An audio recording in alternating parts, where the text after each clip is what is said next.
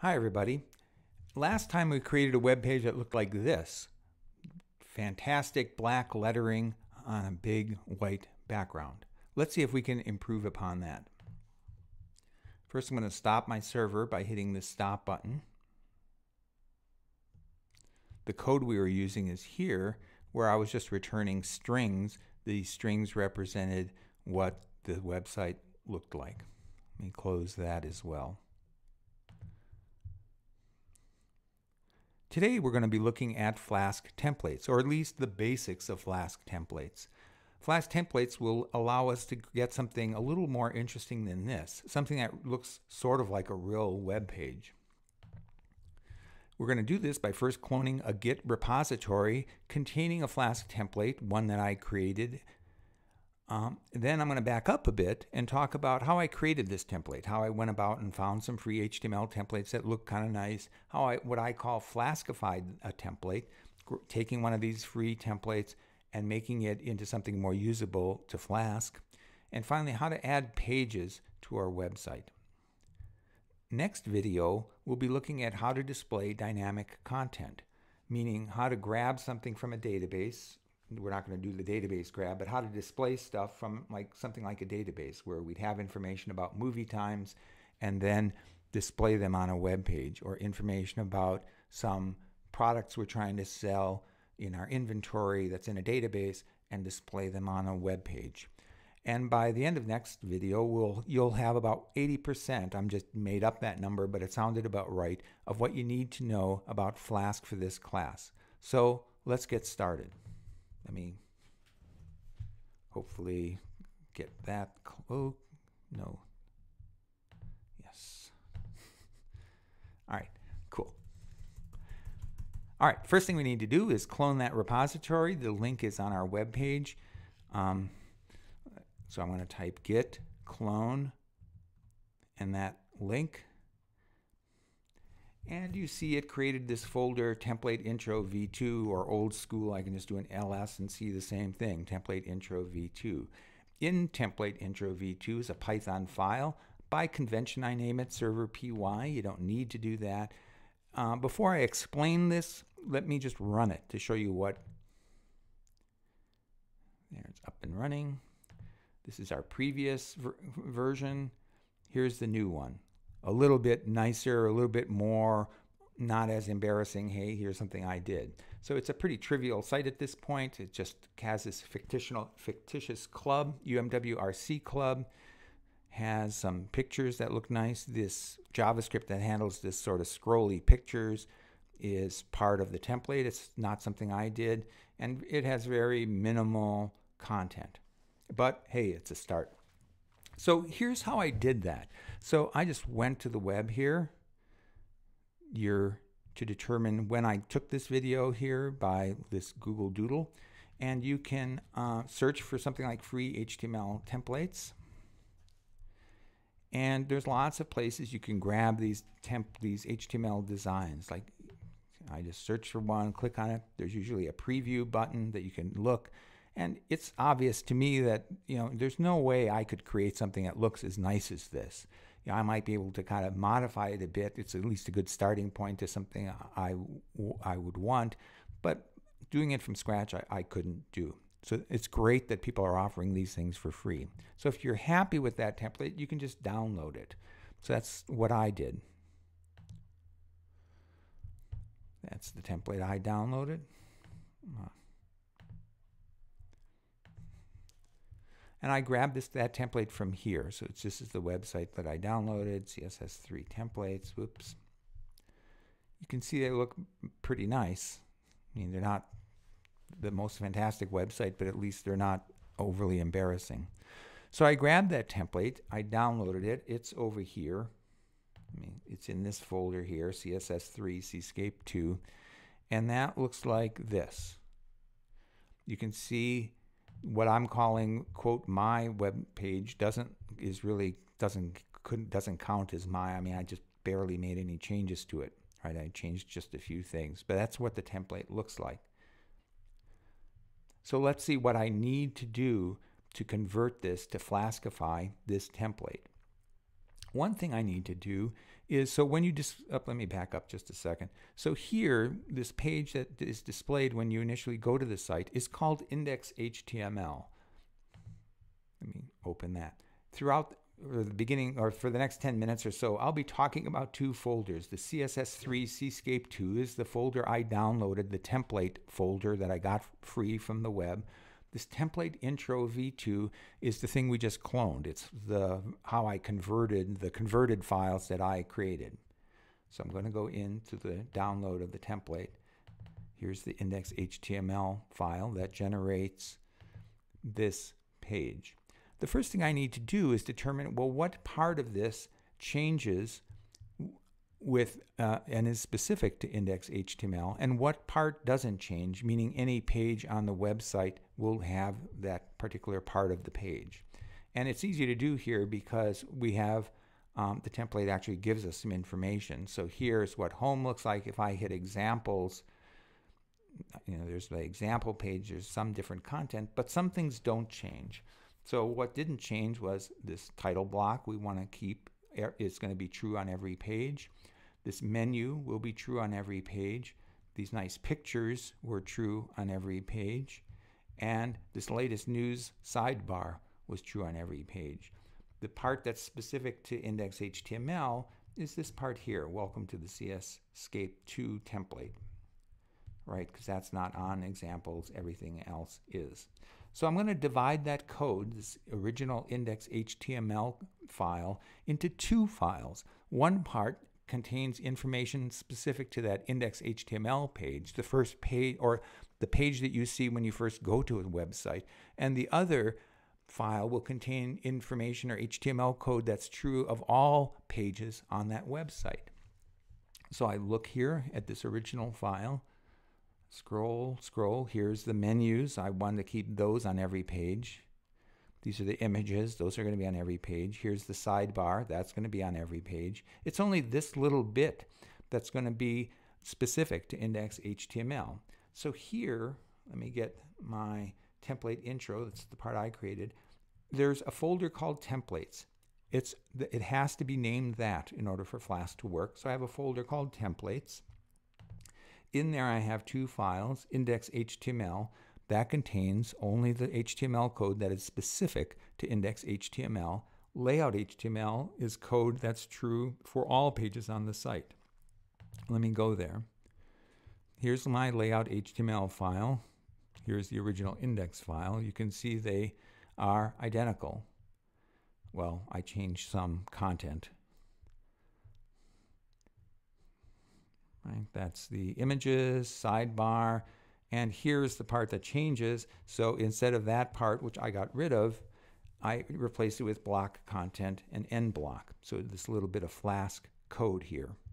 Let me show you that here. That's what was there. It has this div class content and the end of the div, and then the actual content of the page. Those divs are still there, but I replaced the content with this block content. The index HTML pay, uh, file starts with extends layout HTML. So we, this is the basic file. I'll explain in a second. Has this block content, which matches block content in the layout file, and then gives the HTML that's specific to the index HTML page with the end block. So extends H, layout HTML means go and grab this layout HTML file render that. When you hit block content here, this code says, hey, go find another block content here and replace this with the value of that. So it goes here and replaces in the previous page what was there with this HTML. So that was my first step, dividing index HTML into two files, part that changes, part that doesn't change. The next step is to look at uh, here again is the original folder that where that I downloaded from the web, the free HTML template. There's certain folders in here or certain files that don't change. Like CSS doesn't change. It contains the style sheet, style.css. This font folder doesn't change. The images one has the images in it. That's all some static information, the JavaScript. So what I do is I have a folder here in the template I'm creating, the Flask template called static. It contains, as the name suggests, all the static files. And I simply am dragging or making copies of the CSS here, this folder, I'm putting as a subfolder to static. Fonts, I drag fonts. So all these static folders, I'm moving to the static subdirectory. All right, so we did that step. So now here I'm in the original index HTML, the original HTML that is in this template I downloaded. And you can see there are references to those files I just moved. Like there's this CSS style CSS reference. Well, it's no longer at that level in the hierarchy. It's now in a folder called static. So in my layout HTML, I've changed that at that path. So it's static CSS. Here's some JavaScript. I had to change the path to be static JavaScript. Let me go to where that was. Here was the original code, JavaScript, static. And all the images need to be changed. Their paths need to be changed. Let me get to the images. I have prepended static in front of all those. So I'm nearly done now. So I've divided the file up into things that change and don't change. I've moved all the static files or the folders containing static information to a folder called static. The only other thing left is to modify my or to create a server py file. Here it is. This server py file looks pretty much the same. Import OS, we did that before. From Flask, import Flask, we did that. We're importing another method called render template. That's new. I hope the name sounds straightforward. This is the same as last time. And here we have app route, which was the same. So now here in this return, instead of returning a string, we're saying render this template index HTML. This render template goes to index HTML index HTML instructs Flask to extend layout HTML means grab layout HTML, start rendering that. When you hit this code block content, replace that with what's between this block content here, this bit, and off we go and we display what I just showed you. Okay, that's pretty cool. All right, let's say we wanted to add another page to this site let's say uh, club officers. So let's see how we would do that. Um, there's a number of things we need to do for that. Let me just clean up a little bit here first. Let me get rid of extraneous junk. And I don't need that. All right. So one thing we'll need is uh, this index or a page equivalent to index HTML. So let me actually just do a save as here and call it officers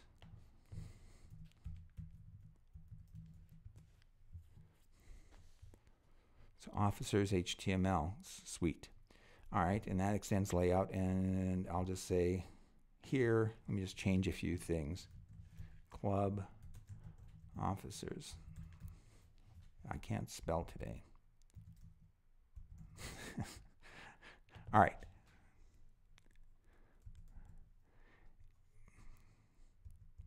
All right, and let's say, mm, let's say, let's add a picture just to make it more interesting. And I still can't type span. Um,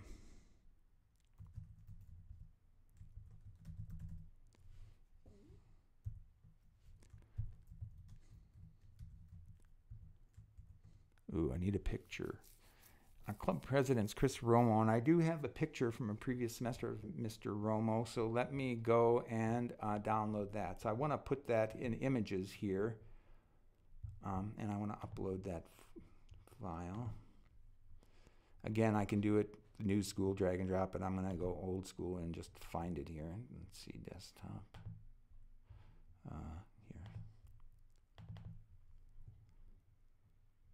Whoa, that's a big file.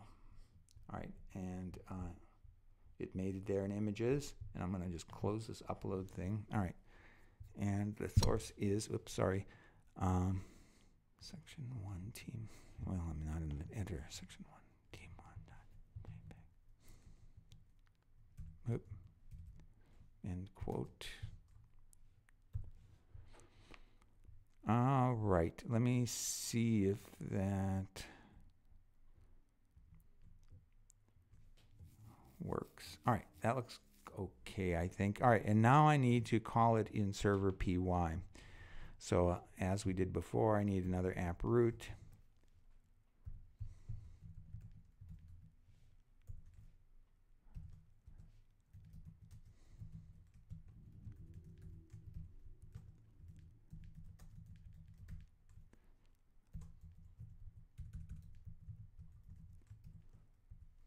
Okay, and I called, did I save that? Officers.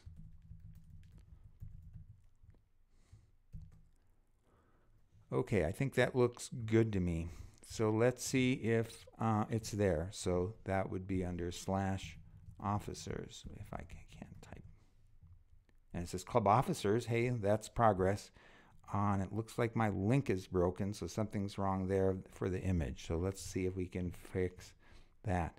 That would be an officers HTML, uh, section 1 team S1T1 JPEG Ooh, well, it helps to actually give um, a little bit of information of where that is. And I see I also didn't have it spelled right. So now I think that works. So let me refresh that page. Whoa. And now this picture is really huge. And uh, that does not look like a good website. So let's say I don't know how to fix the, the dimensions of that web page and I want to do some Google search like um, HTML image width, I guess. And uh, this W3 Schools is a very handy place, and Googling for information about HTML is really an extremely good idea. And here it seems like we have this width uh, attribute for image images. Let me use that here. Let me, I'll just add a zero here because 42 is pretty tiny. Okay, now let's look at this improves the matter. All right, that actually looks pretty nice. All right, so let's say I'm happy with that. So now when I type slash officers, I get there, but man, no one's going to do that. We need to create something in our menu up here to have club officers and people can click on it, just like they can go to home and get to the home page, of which they can't. It's broken. So here that link took us to index HTML. We don't have anything called index.html in our server py file. If we look in our server py file, we see that we know how to deal with the slash, the main website. We don't know how to deal with slash officers we don't have slash index.html. So that link, that's why that link is broken. So this doesn't work. And let's say we want to fix that and we want to change this examples to go to our club officers page. That's our goal. All right, so one question is, well, where would this be, this code? Well, this is part of something that doesn't change on every page.